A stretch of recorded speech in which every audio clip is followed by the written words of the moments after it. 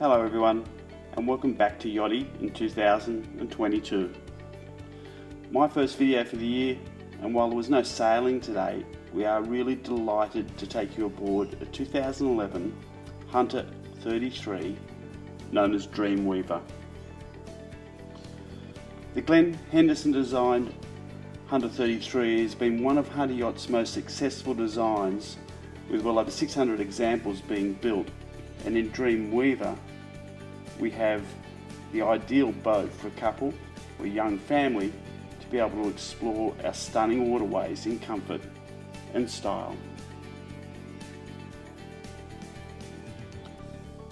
Extremely well set up for safe and easy short-handed sailing with all control lines leading back to the cockpit to two Lewmar self-tailing winches on the coach house and two in the cockpit.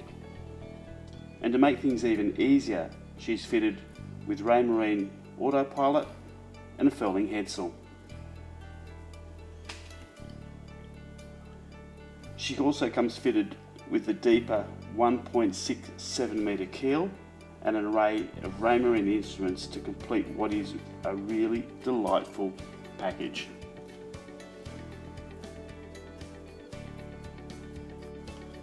To step below, and the quality of fit and finish of this shot is instantly noticeable.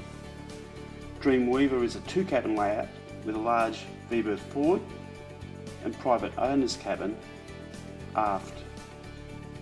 To port there is a large cleverly laid out galley with a stainless steel sink, two burner gas stove with oven and a front opening fridge and microwave.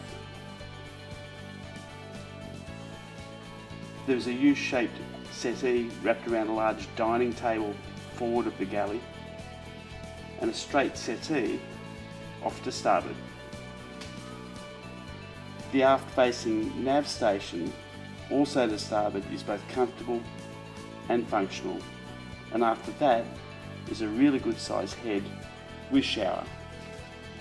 So Dreamweaver is powered by the upgraded 29 horse Yanmar diesel. And so if you'd like to find out more, please don't hesitate to give me a call. My number will appear shortly at the bottom of the screen. Have a great day. I really look forward to talking soon.